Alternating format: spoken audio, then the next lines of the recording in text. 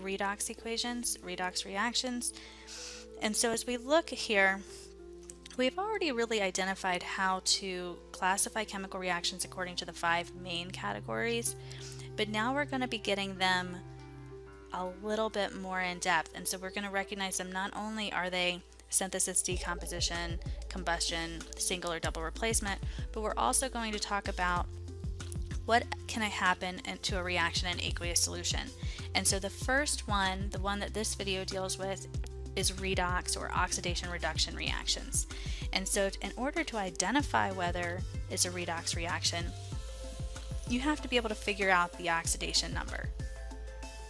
Now for us, we're going to do that for atoms and compounds and I'll show you how I do that. Then we're going to look at reducing agent, oxidizing agent, uh, what's being oxidized, what's being reduced, and that kind of thing. So here we are really only going to be focusing right there. So we're going to be dealing with redox reactions and how do you identify them, how do you know, and then really talking about the details of those reactions.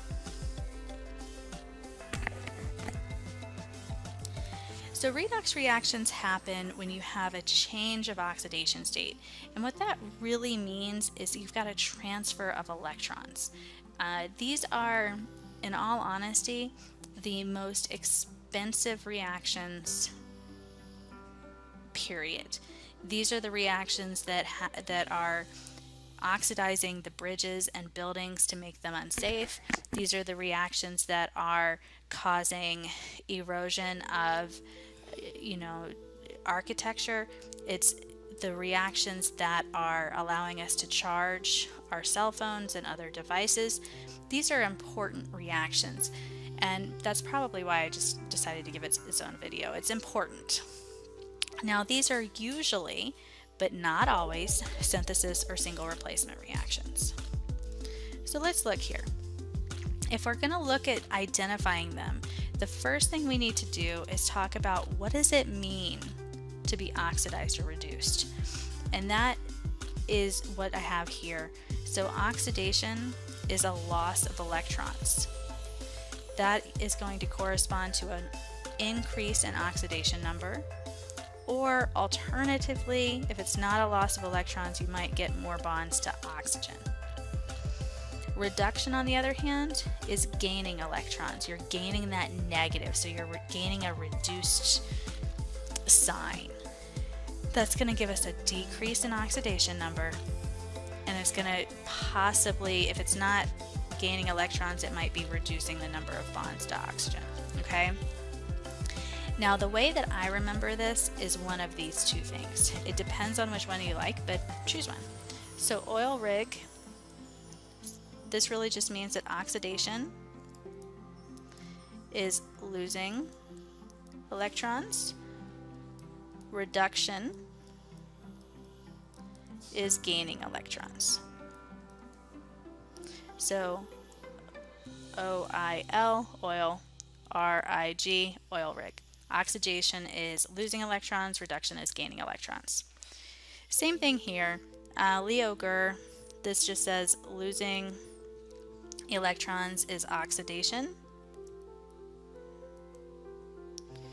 Gaining electrons is reduction. Okay? So that's one way of viewing it. We also need to consider what is happening here. And so we talk about something as being oxidized, something as being reduced, but we also have to consider how that is affecting the reaction itself. And we do that with our agents. So an oxidizing agent is the substance, specifically the reactant, guys, it has to be the thing on the left, that is being reduced in the chemical reaction. By being reduced, by gaining electrons, it is taking electrons from something else and causing that thing to be oxidized. So the reactant that is reduced is our oxidizing agent because it's causing the oxidation of somebody else. The reducing agent is the reactant, again this is on the left, that is oxidized in the chemical reaction. Same thing here, it's being oxidized. So it is giving up electrons. Well, because those electrons can't just be destroyed, they have to go to somebody. If you're being oxidized, you're forcing someone else to be reduced. And so here, whatever reactant is being oxidized is the reducing agent. Now, in terms of identifying oxidation numbers, there's a few different rules here. And this looks like a lot, but it's going to be nicer than you think. The oxidation number of any element in its native state is zero. So if it's a Hofbrinkel like hydrogen, it's zero. If it's sodium, it's zero. If it is chlorine, Cl2, it is zero. Manganese, it is zero. Native state. The oxidation number of oxygen in any compound is minus 2, unless it's a peroxide, which I really try not to use, and then it would be minus 1. But magnesium carbonate, oxygen has an oxidation number of minus 2. Um, what else is there? Oh, sulfuric acid, minus 2. The only exception is if oxygen is in its native state, like O2, then it's going to be 0, or if it's in a peroxide. The oxidation number of hydrogen is going to be plus 1 unless it's in a metal hydride. So if it's um, HCl, H is plus 1. HNO3, plus 1. If it's something like sodium hydride, which we really don't deal with, that's when it would be minus 1. Now, for most, for the most part, elements in compounds are going to have the same oxidation state as what they would have if they formed a charge. However, exceptions are like row 3 and down and column 5 and to the right. So like phosphorus, sulfur, those things. Um, the other things are transition metals these can be multiple things because they can have multiple charges. So when we're doing this, we're going to solve for row 3 and down, row 5 and over, or a transition metal. So the sum of oxidation numbers for everything in a co compound, a neutral compound, must add up to be 0. If it's not a neutral compound, it's going to add up to be equal to the charge. So let's look at this really quick. Here's how it would look. Are these redox reactions, and if so, what's being oxidized, what's being reduced, what's the oxidizing agent, what's the reducing agent? So let's go ahead and just identify this first by main category. And I'm only going to be dealing with the top. Sodium reacts with chlorine to produce sodium chloride. Two things on the left, one thing on the right. So this is synthesis. Now, we haven't talked about the other types of reactions yet, but I don't see an acid, so it can't be acid base. I don't see a gas, so it can't be gas evolving. There's a reason why it's not precipitation, but you don't know that yet, so it's not precipitation. So let's find out if it's redox. So here we've got sodium, chlorine, and then sodium chloride. So sodium is in its native state, so its oxidation state number is zero. Chlorine, this is a Hofbrinkel, it wants to be diatomic, so its oxidation state zero. Sodium and chlorine, even though you probably know this, I'm going to make a table. I make tables over everything. So here we're going to have atom, number, oxidation state, and total we have sodium and chlorine, and this is a neutral compound, so the total has to add up to be zero. We have one and one. Sodium is not an exception, which means in a compound like this, it has to be um, plus one. Hmm.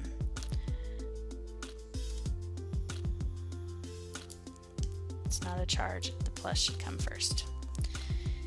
So that gives us a total positive so far of plus one. Chlorine is row 3 and down and row 5 and over, so we would have to solve for this. But to make this cancel, plus 1 to get to a 0, we have to have minus 1. So the oxidation state here has to be minus 1. So this is going to be plus 1, minus 1. Okay? Now, just for the moment, let's just talk about this. Na goes from 0 on the left to plus 1. Chlorine, and I'm talking about the element here, goes from 0 to minus 1. There is a change in redox number here. So this is a redox reaction. So if we were to fully characterize this, it would be synthesis and redox. Now let's talk about what those changes mean. I usually start with what's going down just because I think it sounds better. So I'm going to look for what's being reduced. 0 to minus 1, this is going down. And if you were in my classroom right now, we would totally be doing interpretive dance about reducing. And so this is reducing. And actually, I'm going to rewrite this. So chlorine is reduced in the reaction, which means the reactant that contains chlorine, Cl2, if chlorine, the element, is being reduced, this reactant must be our oxidizing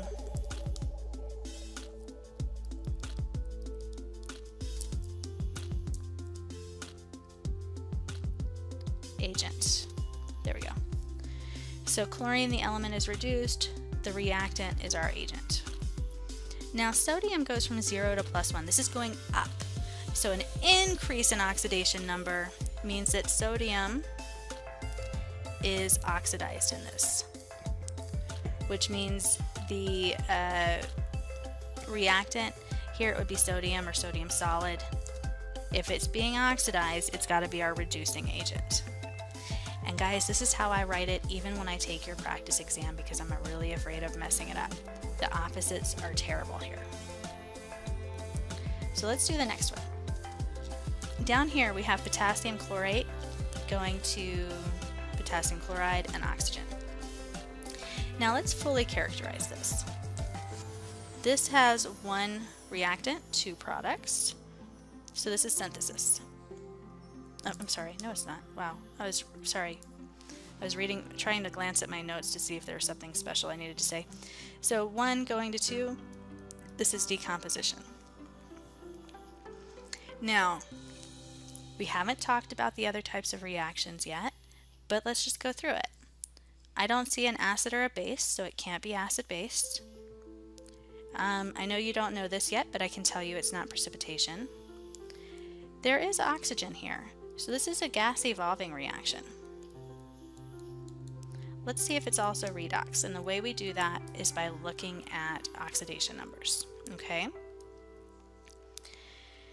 So here, um, hmm, I'm going to do it up here. Atom, number, oxidation state, and total. Let's do it for K, Cl, and O. 1, 1, 3. Total has to add up to be 0. K is not an exception. It's you know it's going to form the same as what it does with the um, with its charge. So this is plus 1. Oxygen in a compound is always minus 2. So 3 times minus 2 is minus 6. K times 1 times plus 1 is plus 1. The only way to get this to equal 0 is to have plus 5. Plus 5 divided by 1 plus 5.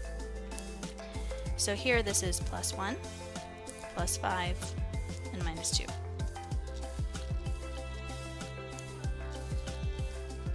Atom, number, oxidation state, and total, K and Cl, 1 and 1. This is not an exception, so it's going to be plus 1. Only way to get it to equal 0 is to have a minus 1. So this is, So this is plus 1 and minus 1. Oxygen in its native state, 0. So I typically like to write this out, okay? I don't like to just kind of view it this way. I like to have it nice linear. K is plus 1 on the left, goes to plus 1 on the right. It's not part of, it, it, it didn't change, but I'm going to keep going. Chlorine goes from plus 5 on the left, 2 minus 1 on the right. Oxygen goes from minus 2 on the left to 0 on the right. So we know chlorine, the element, is reduced, which means that KClO3, the, the reactant that contains chlorine, is our oxidizing agent. Touching? Oxygen goes from minus 2 to 0, so this is being oxidized. It's going up, okay? So oxygen, oxygen is being oxidized, which means the reactant containing oxygen, KClO3, is our reducing agent. That can happen. I mean, we've got two KClO3s here. One can be causing the oxidation, one can be causing the reduction. It happens. Um, and so that, that works. The big thing is the element is reduced, the reactant is the agent. The element is oxidized, the reactant is the reducing agent. Now we do have changes, plus 5 to minus 1, minus 2 to 0, so this is a redox reaction. So if we were to fully characterize this in your, your homework, it's decomposition, gas evolving, and redox. You need all three there.